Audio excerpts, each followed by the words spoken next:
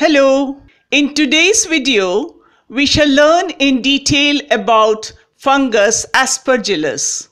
By the end of this video, you'll have a clear understanding about the structure of mycelium of aspergillus, its mode of reproduction, both asexual and sexual, along with alternation of generation in its life cycle.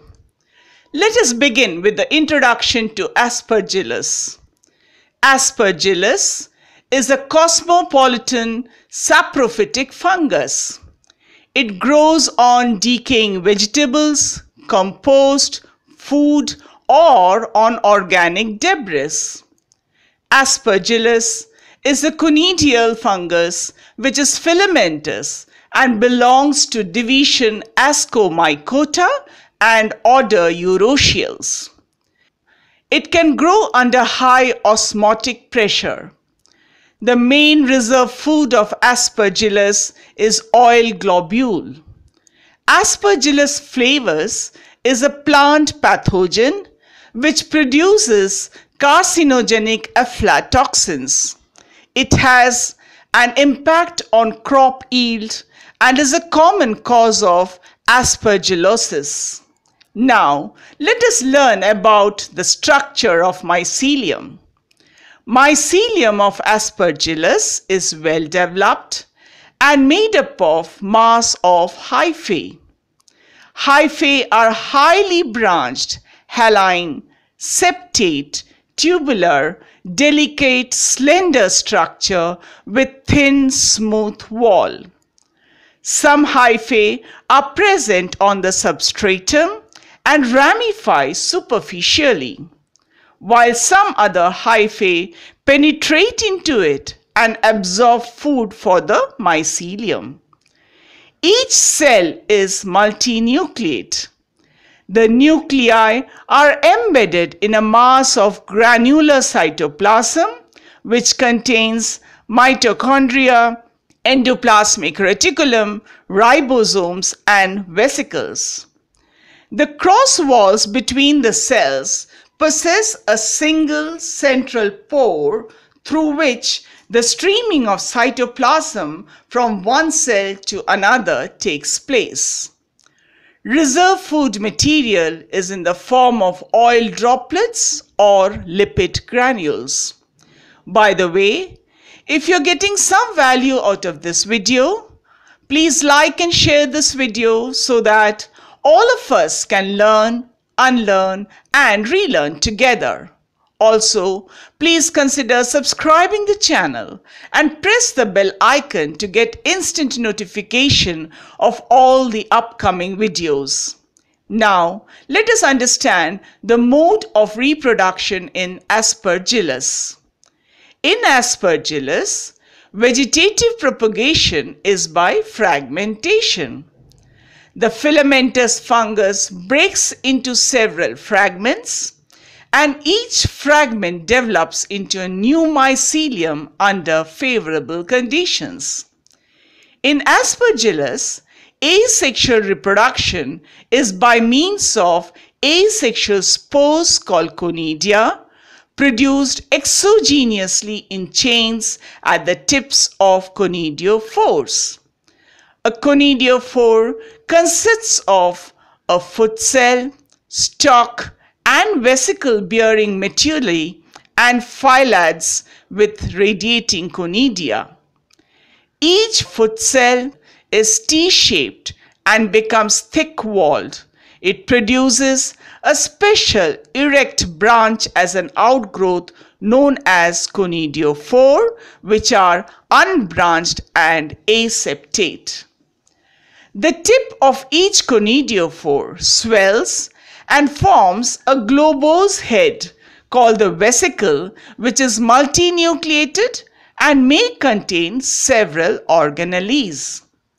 From the vesicle arises many radially arranged tubular outgrowths called sterigmata or phialides. They are compactly arranged and cover the entire surface of the vesicle. Sometimes secondary sterigmata may be formed on the upper side of primary sterigmata or metulae.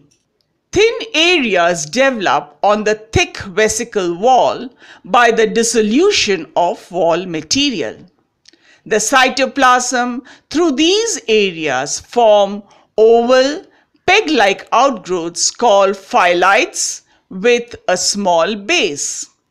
Phialides increase in size and the single nucleus migrates into each phialide along with cell organelles from the vesicle. A basal septum cuts the phialide from the vesicle. The conidia arise exogenously from the sterigmata by abstriction method. At the time of formation of first conidium, the phialide elongates at the tip to form a tube. The sterigmata of phialide are uninucleate. The single nucleus of the phialide divides mitotically to form two daughter nuclei. One of them migrate into the tip of sterigma. The tip grows in size and forms the first conidium.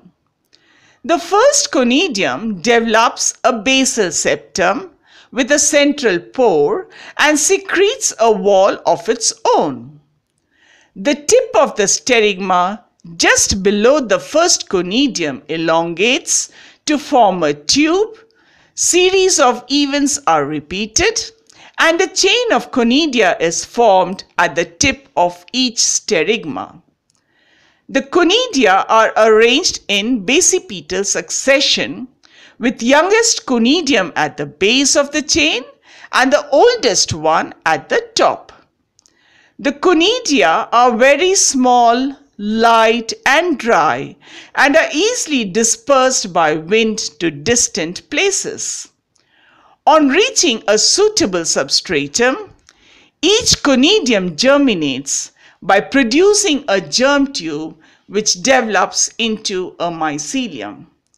Next, let us study about the sexual reproduction in Aspergillus.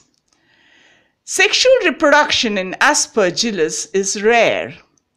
Aspergillus is homothallic.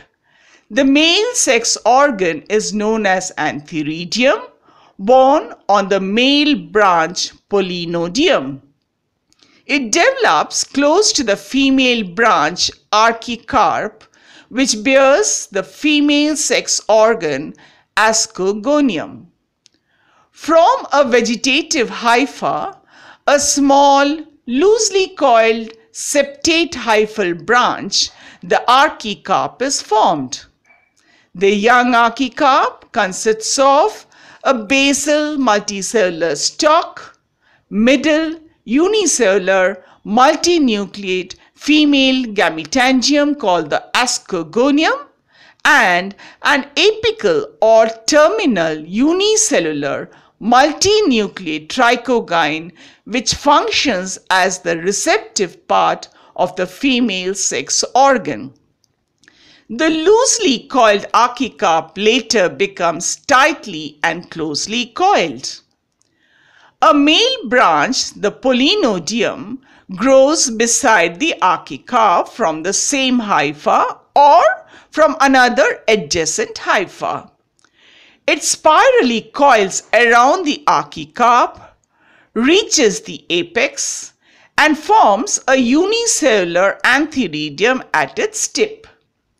The antheridium is a multinucleate swollen structure with a stalk.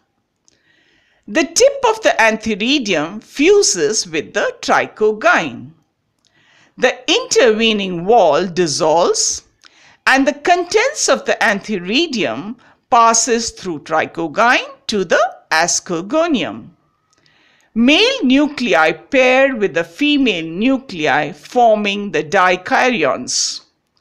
After pairing of the nuclei, the ascogonium becomes septate from dikaryotic segments, ascogenous hyphae are formed. From the base of the archicarp, several sterile hyphae intertwine to form a pseudo-parenchymatous sheath. The whole structure is known as an ascocarp. In Aspergillus, the ascocarp is small, rounded, with smooth walls. Since the ascocarp remains closed even at maturity, it is called the cleistothecium or cleistocarp. The sheath consists of an outer protective layer called the peridium and an inner layer called the tapetum which is nutritive in function. Now, let us look into the development of asci and differentiation of ascospores. The swollen terminal binucleate cell of ascogenous hyphae give rise to asci which function as ascus mother cells. The two nuclei in the ascus mother cell fuse and it represents the transitory diplophase in the life cycle. The synkaryon undergoes meiosis, resulting in four haploid nuclei. These further divide mitotically to form eight nuclei surrounded by the cytoplasm. The uninucleate protoplasm gets surrounded by a wall and is organized into ascospores. The wall of the asci dissolves and the ascospores are released into the cavity of the cleistothecium. The wall of the cleistothecium decays and the ascospores are liberated. Ascospores are haploid uninucleate structure. The spore wall is differentiated into an outer thick sculptured epispore and an inner endospore. Each ascospore germinates under suitable conditions to form a new haplomycelium. Finally, let us look into the life cycle of Aspergillus which shows alternation of generation. The gametophyte and the sporophyte are the two phases in the life cycle of Aspergillus. The gametophyte is the independent phase it starts with the formation of ascospores and ends with the formation of dikaryons in the ascogonium. Aspergillus also multiplies with the help of conidia. The second phase is the sporophyte. It starts with the formation of dikaryons in the ascogonium. It ends with meiosis of the synkaryon in the asci. The sporophyte phase consists of the dikaryophase and the diplophase represented by the young ascus before meiosis. So today we have learnt in detail about fungus aspergillus. I have some practice questions for you. Please share your answers in the comments section below. You can pause the video and write down the questions if you like. Thank you so much for your time and participation. If you haven't subscribed to my channel yet, please consider subscribing the channel and press the bell icon to get instant notification of all the upcoming videos. Also, if you want to discuss any particular topic in biology, please mention that in the comments section below. I'll see you there. Goodbye. All the best.